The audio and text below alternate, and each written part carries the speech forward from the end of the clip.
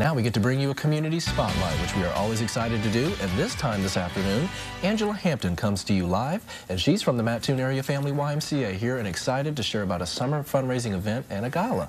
And you're going to talk about how this benefits not only the families, but the youth that they're a part of. But I want you to tell the story about how this has gone on for 35 years. Yeah, I'd love to. You know, like so many things at our local organizations and at the Y specifically, this was started by volunteers 35 years ago.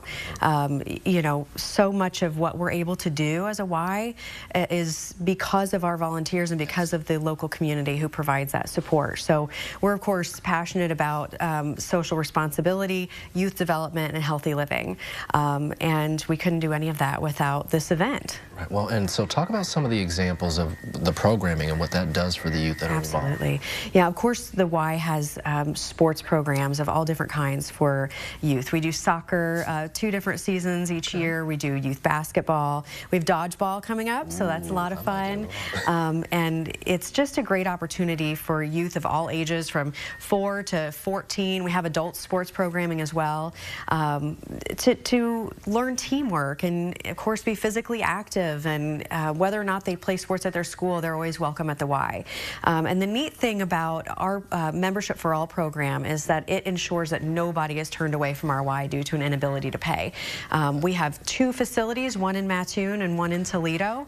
Um, and so we're able to provide over $200,000 in support every year, financial assistance to, to families, so that whether or not uh, they're members, they're, they can still participate in those programs. Well, and I, you mentioned volunteers. Touch on the role that they play in some of these kids' lives. I mean, they don't often have someone they can go yeah. to that they can relate to. So Absolutely. And it's neat that you said that because the kind of the theme of this year's May Merriment is the generational impact yes. that the Y has. Our hosts from Express Express Employment Professionals are a third generation Y family. Um, and so it's, it's a huge impact. It's a second home for a lot of kids. Um, we, we have intentional programming when school is out, but we have a lot of kids who just look to us to be a safe place where they can come hang out after school, um, where they can meet mentors, where they can meet friends. Um, and it's, it's just a really incredible impact to see and to be a part of. Well, I'm yeah. sure you're proud to be able to witness it firsthand yourself. I am, so. I am. It's, it brings us all all a lot of joy. Um, and May Merriment's just kind of a way of celebrating that. It's the first Saturday of May every year, um, so May 4th this year.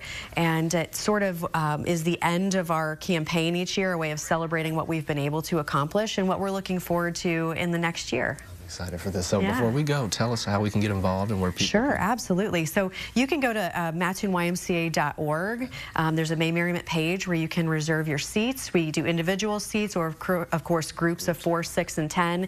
A lot of businesses will get a table and, and come together. Uh, we have a delicious dinner, a live and silent auction. Some of the packages are incredible. There's something for every budget. And then 90s Daughter is going to provide some live music afterwards, and they are a ton of fun. So uh, we would love to see everyone on Saturday. Saturday, May 4th, they can hop online and, and make those reservations. Sounds like they still have time. Absolutely. So. Yep. Those will be open through May 1st. All righty, Angela. Thank you so much for all the Thanks time for having me. Appreciate it. Wish you the best with your golf. Thank you.